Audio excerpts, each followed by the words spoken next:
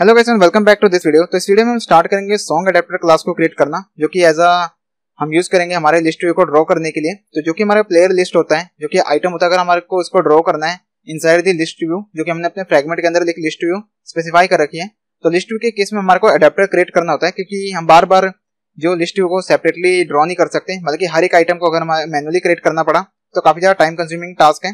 That is the reason कि हम adapter का कंसेप्ट यूज़ करते हैं, क्योंकि हम अगर चाहें थाउज़ेंड या टू थाउज़ेंड एलिमेंट्स को एकदम से क्रिएट कर सकते हैं by using the concept of adapter so let get start with this video मगर उससे पहले अगर आपको मैं अपनी एक्टिविटी मेन पे दिखाऊँ तो यहाँ पे हमारे को उस पर्टिकुलर थीम को डिलीट करना है, जो कि एक यहाँ पे मैंने सिंपल ऐप थीम स्पेसिफाई की थी, जिसमें हम इस पर्टिकुलर थीम का यूज़ कर रहे थे। अगर आपको मैं styles dot XML file open करके दिखाऊँ तो इस पर्टिकुलर थीम को मैं यूज़ करा तो इस केस में हमारे कोई प्रॉब्लम दे रही है। तो आपको अपनी एक्टिविटी मेन से इस पर्टिकुलर थीम को हटा देना है मीन आपको इस थीम को यूज़ नहीं करना। अगर वापस आए तो ये थीम हम हमारे को चाहिए नहीं। तो इसे मैं डिलीट कर देता हूँ, कि इससे हमारे को प्रॉब्लम हो रही है हमारी एप्लीकेशन में। हमारी एप्लीकेशन प्रॉपरली वर्क नहीं कर रही। अगर कोई प्रॉब्लम आती है एप्लीकेशन में लेटर ऑन अगर हमारे आइकन सही से डिस्प्ले नहीं होंगे, जो कि हम एक्शन बार पर प्लेस करेंगे देन हम इस पर्टिकुलर थीम को दोबारा क्रिएट करेंगे। ओके तो अभी तो मैं इसको हटा था और एक और चेंज मैंने यहाँ पे किया, अगर आप प्रीव्यू ओपन करके दिखाऊँ तो मैंने यहाँ पे अपनी फ्लोटिंग एक्शन बटन को थोड़ा सा ऊपर कर दिया है। तो पिछले वीडियो में मैंने यहाँ पे स्टार्ट टाइम और फाइनल टाइम स्पेसिफाई किया था तो मैंने इन पर्टिकुलर वैल्यूज़ को चेंज कर दिया है। इसके बाद मैंने यहाँ पे फ्लोटिंग एक्शन बटन को थोड़ा सा यहाँ पे स्पेसिफाई किया है। आई नो दैट कि ये रॉन्ग पोजीशन है बट अगर मैं आपको अपने फ़िज़िकल डिवाइस में रन करके दिखाऊँ तो ये परफेक्टली यहाँ पे विजिबल हो रहा है। अगर आप यहाँ पे देखें जो मेरा फ़िज़िकल डिवाइस है इसमें अब लेआउट प्रॉपरली डिस्प्ले हो रहा है। द रीजन फॉर दैट कि यहाँ पे अगर आप देखिए तो ये जो मेरा फ़िज़िकल डिवाइस है ये फुल एच डिवाइस नहीं है। दैट इज़ द रीजन की जो पिक्सल्स इसके अंदर कम है। तो यहाँ पे हमारा जो फ्लोटिंग एक्शन बटन है वो यहाँ पे विजिबल हो रहा है। So that is the reason की यहाँ पे मैंने फ्लोटिंग एक्शन बटन को स्पेसिफाई कर रखा है। Okay okay? तो ये हमारी पर्टिकुलर एप्लीकेशन कुछ इस तरीके से डिस्प्ले हो रही है। सो so, अब हम इस वीडियो के अंदर स्टार्ट करेंगे हमारे सॉन्ग अडेप्टर को क्रिएट करना। तो जाते हैं हमारे यहाँ पे जावा के फ़ोटो को एक्सपेंड करते हैं। डबल क्लिक करते हैं और देन यहाँ से अपने पैकेज को एक्सपेंड करते हैं। और यहाँ पे हम एक और नया पैकेज क्रिएट करते हैं न्यू पे जाते हैं और यहाँ पे हम एंड्रॉइड पैकेज को एक नया क्रिएट करते हैं जो कि पैकेज नेम है। तो यहाँ पे मैं पैकेज का नेम देता हूँ लाइक अडेप्टर्स एंड देन इसके अंदर हम अपना व्यू पेजर अडेप्टर भी क्रिएट करेंगे। बाद में जब हमारे को व्यू पेजर यूज़ करना होगा तो इसके अंदर मैं क्लास क्रिएट करूँगा, जो कि होगी हमारी सॉन्ग अडेप्टर तो मैंने यहाँ पे सॉन्ग अडेप्टर क्लास का नेम स्पेसिफाई कर दिया देन सिंपली हिट करते हैं ओके देन इसके अंदर हम हमारे को कुछ वेरिएबल्स की ज़रूरत पड़ेगी तो सबसे पहले तो हमारे को कंटेक्ट की ज़रूरत पड़ेगी, क्योंकि एक एक्सटर्नल जावा फ़ाइल है। दैट इज़ द रीजन कि हम इसको मेन एक्टिविटी में कॉल करेंगे तो हमारे को कंटेक्स्ट भेजना होगा। तो प्राइवेट यहाँ पे मैं स्पेसिफाई करता हूँ। देन इसके बाद यहाँ पे हमें भेजना है कंटेक्स्ट तेरह हमारा फोर्थ कंटेक्स्ट एंड देन इसके बाद यहाँ पे वैल्यू का नेम स्पेसिफाई कर देते हैं कंटेक्स्ट एंड देन इसके बाद हमारे को यहाँ पे एरे लिस्ट वेरिएबल क्रिएट करना है। तो एरे लिस्ट हमारे को चाहिए, क्योंकि लिस्ट ऑफ़ एलिमेंट्स को हमें डिस्प्ले कराना है। दैट इज़ रीजन कि हमारे को एरे लिस्ट की ज़रूरत पड़ेगी। तो एरे लिस्ट देन यहाँ पे हमारे को जेनेरिक कलेक्शन स्पेसिफाई करना है। तो यहाँ पे मैं स्पेसिफाई कर देता हूँ सॉन्ग्स लिस्ट तो एक्चुअली में सॉन्ग्स लिस्ट टाइप का डेटा स्टोर करेगी। देन नेम भी मैं देता हूँ सॉन्ग्स लिस्ट तो यहाँ पे सिंपल देते हैं लिस्ट एंड देन इसके बाद इसको हम मेमोरी एलोकेट कर देंगे new and then array list यहाँ पे स्पेसिफाई कर देते हैं कर देते हैं टर्मिनेट तो ये हमने दो वेरिएबल्स यहाँ पे क्रिएट कर दिए अब देन हमारे को यहाँ पे कंस्ट्रक्टर क्रिएट करने की ज़रूरत है। तो राइट क्लिक करेंगे जनरेट पे जाएँगे, और देन यहाँ पे हम सिंपली क्लिक करेंगे कंस्ट्रक्टर पे दोनों को सिलेक्ट करके ओके कर देंगे। तो आप देख सकते हैं यहाँ पे हमारा कंस्ट्रक्टर हो चुका है क्रिएट देन जो हमारा सॉन्ग अडेप्टर है, ये एक्सटेंड करेगा एरे अडेप्टर को, क्योंकि लिस्ट व्यू के केस में हम एरे अडेप्टर यूज़ करते हैं, जो कि सिंपल होता है। रिसाइकलर व्यू में मैं recycler view dot adapter use करेंगे। तो मैं यहाँ पे सिंपल रखना चाहता हूँ एप्लीकेशन को। दैट इज़ द रीजन की मैं यहाँ पे लिस्ट व्यू का यूज़ करा। तो सॉन्ग लिस्ट देन इसके बाद अब हमारे को यहाँ पे एक और इंटरफेस को इम्प्लीमेंट करना है, ताकि हम अपनी लिस्ट को फ़िल्टर कर सके। तो यहाँ पे मैं फ़िल्टर लेबल क्लास को यूज़ करूँगा। तो ये हमारी फ़िल्टर लेबल क्लास तो इसका मैं यूज़ करूँगा। देन आप देख सकते हैं यहाँ पे जो कंस्ट्रक्टर है, ये एक्चुअली में एरर दे रहा है। There is no default constructor तो एक्चुअली यहाँ पे मैं इसको रिमूव करता हूँ। और देन यहाँ पे हम इसको वापस ओवरराइड करते हैं।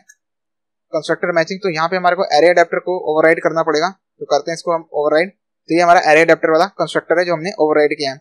यहाँ पे अगर आप देखें तो एक जो पैरामीटर है वो गलत है, जो कि ये हमारा पर्टिकुलर इंट रिसोर्सेज है। तो हमारे को इंट रिसोर्सेज नहीं चाहिए।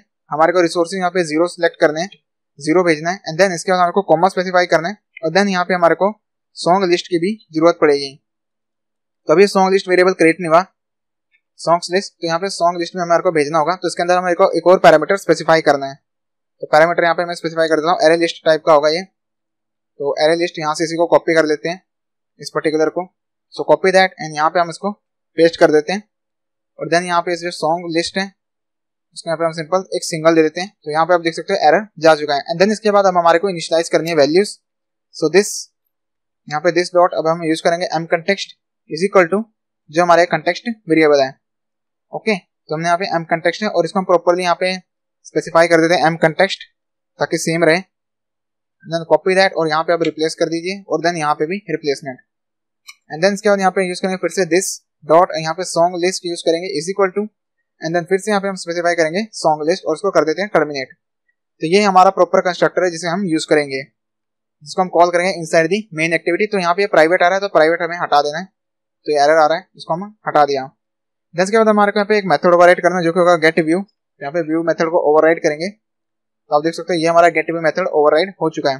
तभी ये रिटर्न कर रहा है सुपर लेकिन हमारे को यहाँ पे रिटर्न कराना है लिस्ट आइटम तो लिस्ट आइटम के लिए सबसे पहले हमारे को पे व्यू क्रिएट करना है। तो व्यू तो यहाँ पे मैं क्रिएट करता हूँ list item is equal to and then इसको हम इनिशलाइज कर देंगे किसी व्यू के अंदर। तो यहाँ पे मैं कन्वर्ट व्यू को कॉल करूँगा। तो ये जो पैरामीटर है, उसको मैं यहाँ पे यूज़ कर रहा हूँ।